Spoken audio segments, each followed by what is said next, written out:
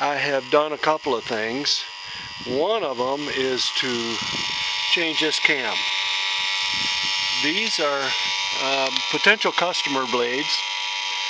They are inch and a half, plus the set is different uh, than what this cam was built for. And for those that have uh, seen my videos and uh, kept an eye on what's going on, I told you that I would give you that cam free. I couldn't do it. I had to charge a dollar for it. That's the least that uh, Etsy would let me do. Um, I am in the process of uh, building all these pieces in CAD, uh, 3D. There's a new cam. Here's another one just like it. There's the hub. The hub that I got was uh, too big, so I had to bush it with a uh, piece of copper tubing. No biggie.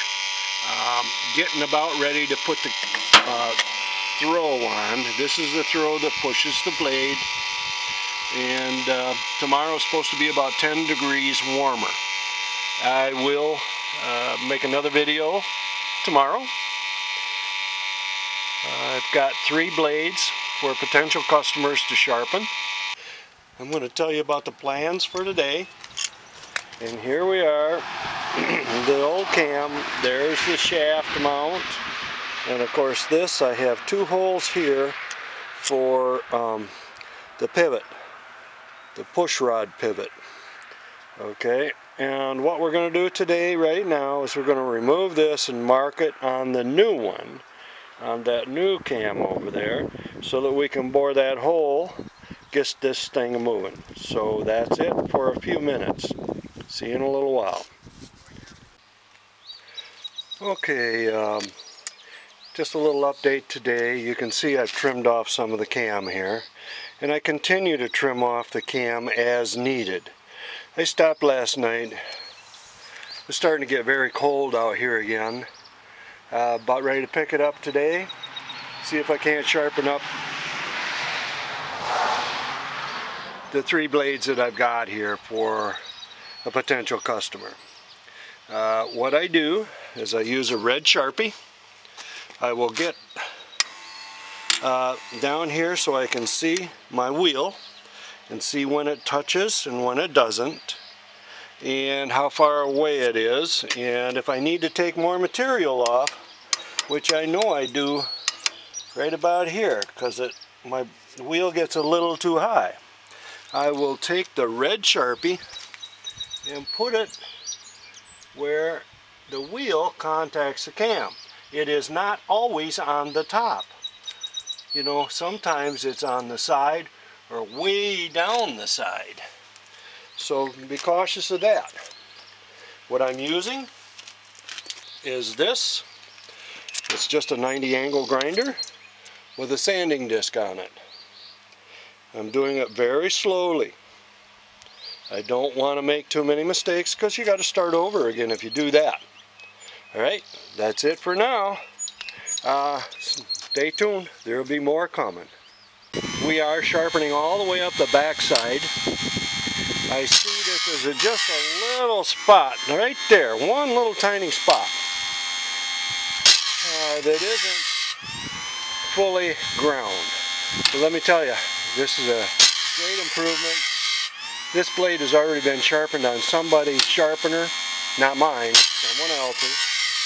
And uh, I'm not sure that theirs followed the true contour. I'm going to sharpen this blade after this one's done, I'm going to load one of the other ones, and we'll go from there. I'll let you watch for a few minutes.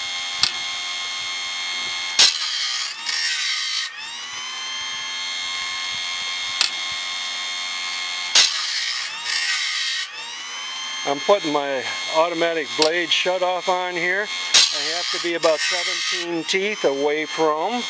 And I put a mark on the blade. 1, 2, 3, 4, 5, 6, 7, 8, 10, 11, 12, 13, 14, 15, 16, 17. We're going to go to 18. We're going to put it on there. rubber side in. When that gets around, the blade is done.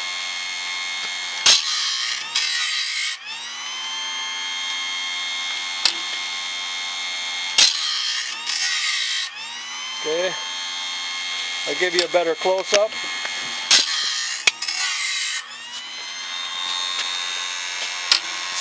Okay, it's going to take a minute. Uh, let's see, zoom. Okay, you should be able to see that pretty good, although it's pretty bright out here today. Alright, you can see that they're definitely shiny, right? Gonna back her up. We'll go to this side. You can see that I'm getting the top of that tooth too. It's in good shape. Alrighty. We're gonna put you back in the holder.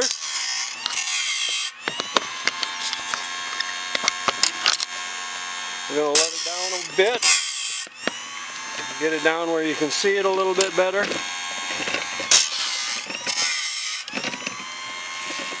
Hang on, hang with me there. I'm folding up the tripod.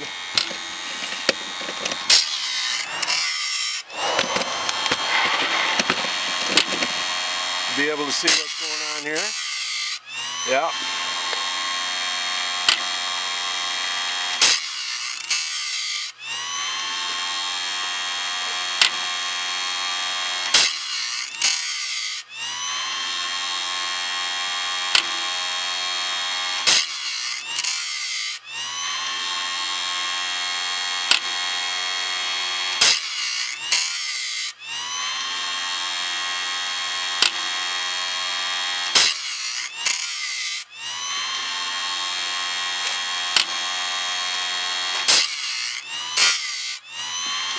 Okay, we're going to sit you over here and let you see what the cam is doing.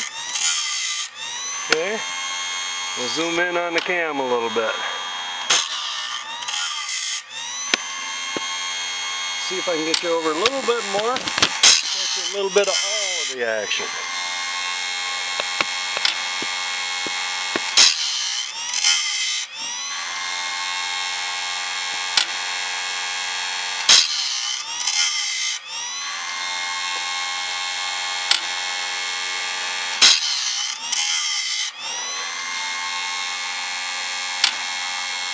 You'll also see here I put a little push stick on here to shut the thing off when my automatic shut off gets around.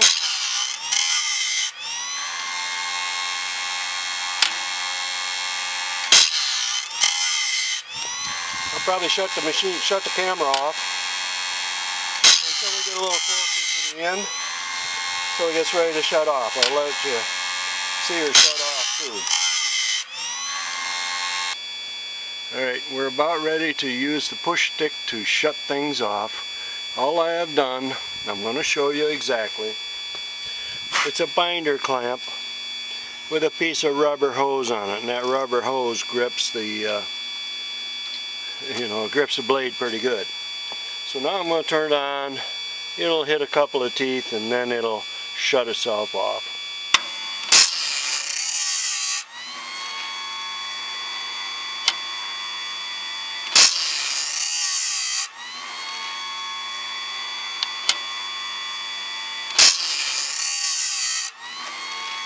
in my area, please don't.